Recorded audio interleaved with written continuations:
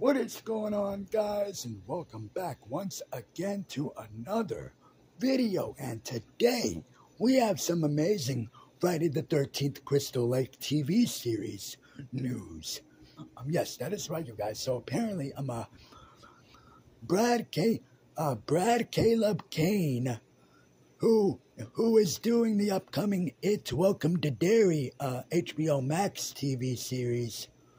Um, will be on the hmm, will um will be pretty much the new um uh, the brand new on um, the uh, creator um writer and executive producer on the Crystal Lake Friday the 13th TV series. So this thing is not dead. It's not dead because um it, it's not dead because it found its new guy in Brad Caleb Kane.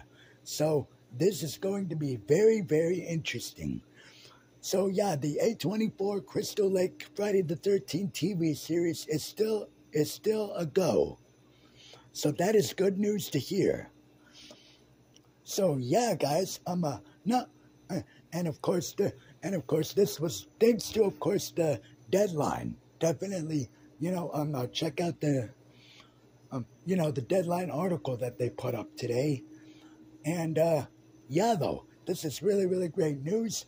Tell me what you guys think about this news.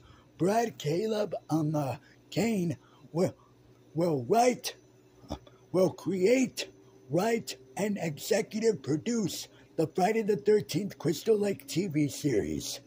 Let me know what you guys think about this.